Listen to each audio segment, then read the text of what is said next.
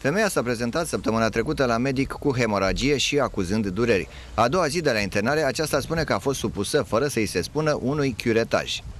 M-a luat repede de pe hol, a spus să vin să mă vadă, mi-a zis să mă urc pe masă.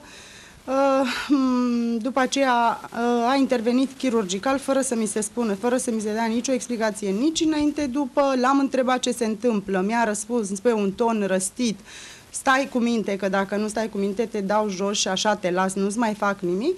Și am tot cerut explicații doamnei asistente care mă ținea de mână. Mi-a spus doar că o să mi se facă o anestezie, nu o să mă doară nimic, nu o să simt nimic și să stau liniștită. Medicul confirmă intervenția, dar susține că nu a fost vorba de un avort, ci de un curetaj necesar pentru a-i opri sângerarea. El neagă faptul că i-ar fi vorbit urât pacientei și susține că, la părăsirea spitalului, starea de sănătate a femeii era bună.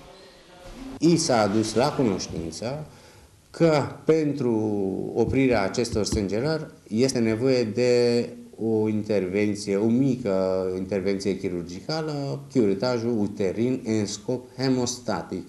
Sub nicio formă nu a fost vorba niciodată de nicio sarcină. Diagnosticul este fibromatoza uterină, sarcina este cu totul altceva. Femeia este decisă să-și caute dreptatea și a anunțat telefonic Colegiul Medicilor Olt.